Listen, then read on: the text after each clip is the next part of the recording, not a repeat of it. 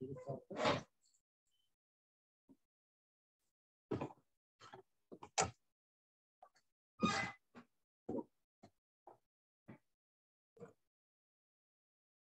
morning. So, uh, neuroimaging, we know we use it every day. There have been a lot of advancement in how we can image the brain. That helps a lot in diagnosing, especially in the neurological neuropsychiatric disorders. Not so much in psychiatry, but it is very helpful in ruling out any organic disorder. So, Asta today is presenting the basics of neuroimaging. Good morning, everyone. The topic of my presentation today is basics of neuroimaging, and my moderator is Dhyanisha. So, what is neuroimaging? Neuroimaging provides visual representation as well as the quantitative analysis of the anatomy, blood flow, blood volume, electrical activity, metabolism, oxygen consumption, receptor sites, and many other physiological functions within the CNS. Neuroimaging, often described as brain scanning can be divided into two broad categories, namely structural and functional neuroimaging. Structural neuroimaging is used, used to visualize and quantify brain structure, and functional neuroimaging is used to measure brain functions, example, neural activity indirectly, often using functional magnetic resonance imaging, fMRI, or positron emission tomography, PET scan, or functional ultrasound. So there are various types of neuroimaging. For example, computed tomography, single photon emission computed tomography or the SPECT, SPECT scan, positron emission tomography PET scan, MRI, magnetic resonance imaging, functional MRI, diffuse optical imaging and tomography, event-related optical signal, magnetoencephalography, cranial ultrasound, functional ultrasound imaging, quantum optically pumped magnetometer, and electroencephalography.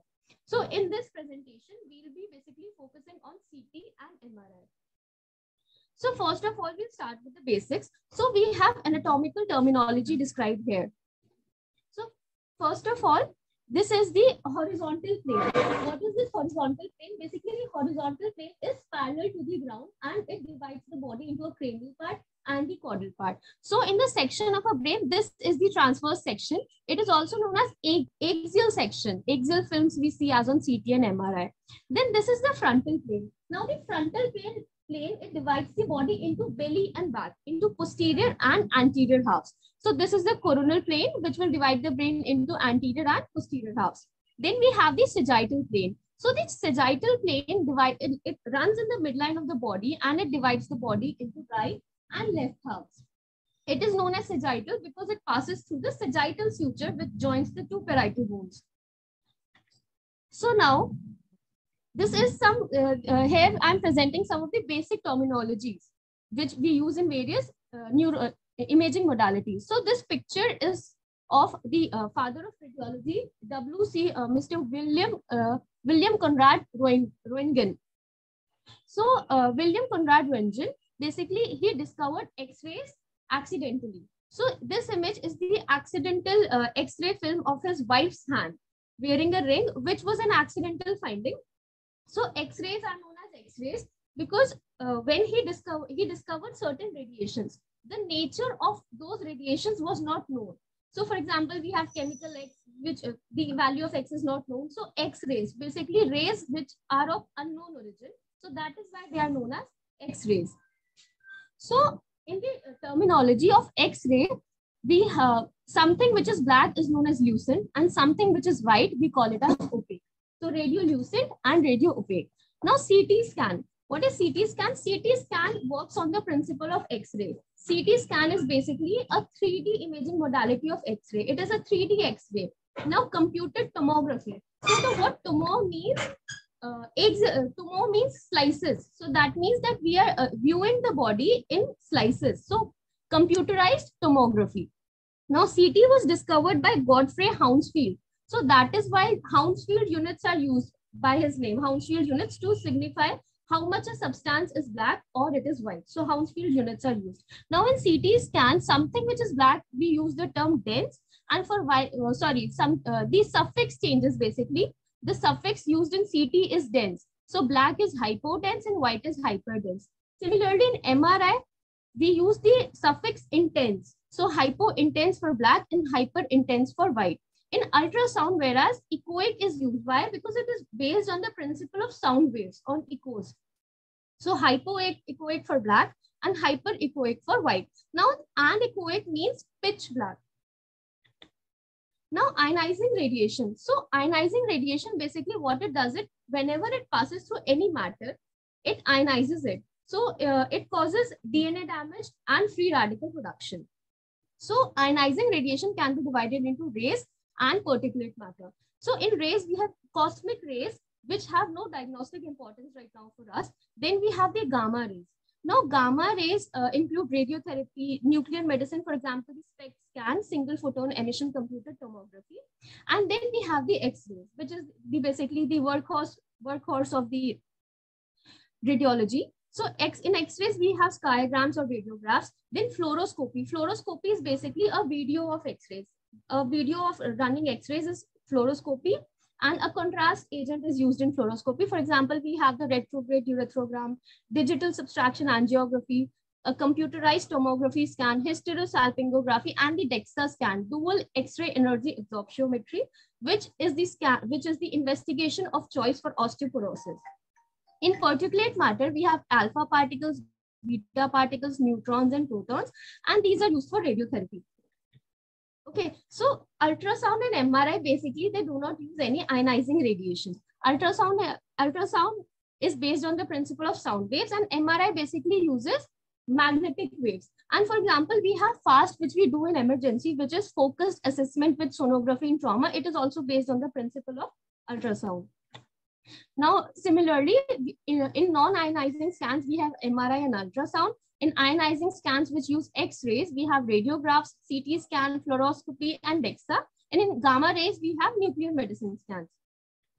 Now, this is a slide which is uh, showing that how much radiation exposure is associated with which modality. So basically, as the uh, as the region of the body involved increases, the area increases, the radiation exposure increases.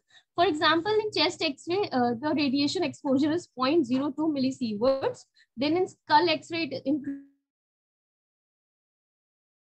modality of X-ray, which basically uses more of X-rays, the radiation exposure is more. And in head, it is 2 uh, millisieverts, then chest is more 5, abdomen is more 10 millisieverts because the area involved in abdomen is more. And then we have PET scan. In PET scan, it is the highest radiation exposure, 10 to 12 millisieverts. Now CT versus MRI. Now, how do we differentiate that which uh, whether so the first principle here is, first of all, we look at the bone. So the bone, as we can all see, is white on a CT scan. Bone is always white on a CT scan. On an MRI, bone appears black. Bone appears hypodense, hypo-intense on MRI. Now we'll be we'll get confused because in the periphery we are seeing this white. So this white is basically the fat, the scalp fat. The periphery is scalp fat and fat on MRI is hyper-intense. So we'll differentiate a CT from an MRI by looking at the bone. So the bone is white on CT and the bone is black on MRI. Now this is a non-contrast CT scan. Why? Because if it would have been a contrast CT scan, we would be uh, seeing you know contrast in the blood vessels. So white, it would have appeared a bit more whiter. So this is a non-contrast CT scan. Now let us come to MRI. These three are uh, sections of the MRI. Basically, these three, as we can all see, are axial sections of the MRI. Now we'll see T1, what is T1 weighted image and what is T2 weighted image and how do we differentiate between these two images. So the mnemonic here is WW2, World War II. So water appears white on T2. Okay, so we, we see water. CSF appears white on T2. Okay, so this is T2 image. Now, this is not the only differentiating factor here. So the other differentiating factor is basically T1 weighted image T1. It will live, live up to its name. So the gray matter will appear to be grayer and the white matter will be less gray. So T1 is living up to its name. The gray matter is grayer and the white matter is less gray. But in T2, we see that this is uh, basically this is inverse.